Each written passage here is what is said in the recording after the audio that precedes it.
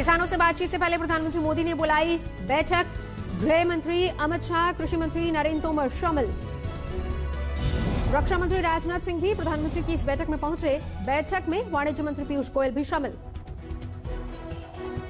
आज किसान और सरकार के बीच में पाँचवें दौर की बातचीत।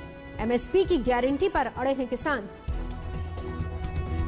किसानों को सरकार का अल्टीमेटम। मांगे नहीं मानी तो 8 दिसंबर को भारत बंद।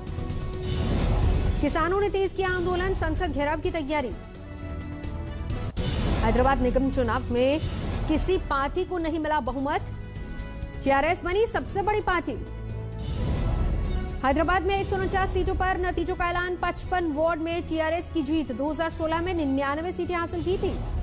हैदराबाद निगम चुनाव में दूसरी बड़ी पार्टी बनी बीजेपी।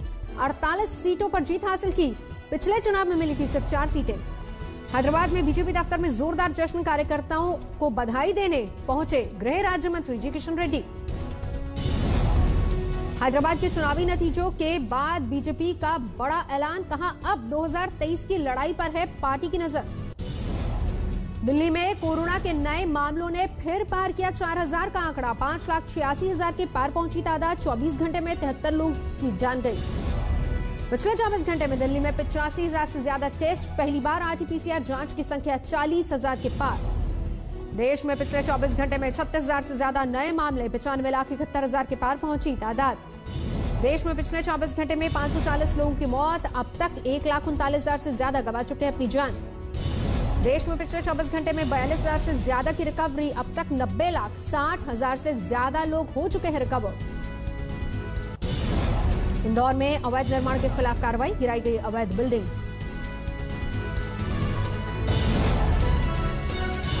ग्वालियर में हुक्का बार चलने की खबर, पुलिस ने की छापामारी।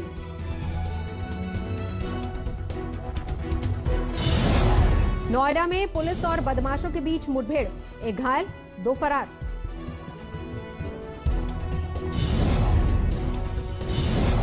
यूपी के सिद्धार्थनगर में भूमाफिया के खिलाफ कार्रवाई, गिराए गए अवैध निर्माण। सिद्धार्थनगर में आम के पेड़ों की अवैध कटाई, वीडियो वायरल।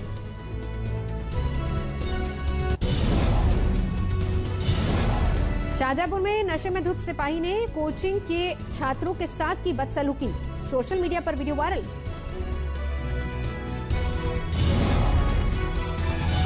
लखनऊ में दो डायग्नोस्टिक सेंटर्स के कर्मचारियों के बीच मारपीट एंबुलेंस में की तोड़फोड़। हिरासत में पहुँचे दोनों आरोपी। राजस्थान में कोटा के करीब भीषण सड़क हादसा, ट्रक और बोलेरो की टक्कर में पाँच लोगों की मौत।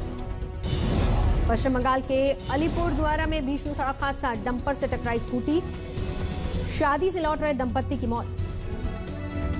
अलीगढ़ में कोर्ट के बाहर प्रेमी प्रेमिका का हंगामा। प्रेमी के साथ शादी के लिए पहुँची थी पंजाब के मोहाली से गायब लड़की।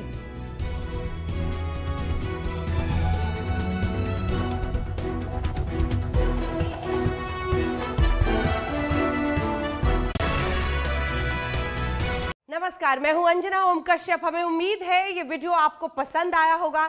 लेटेस्ट खबरों के लिए यूँ ही देखते रहिए आज तक और इस वीडियो के पसंद आने पर लाइक, शेयर एंड सब्सक्राइब करना ना भूलें।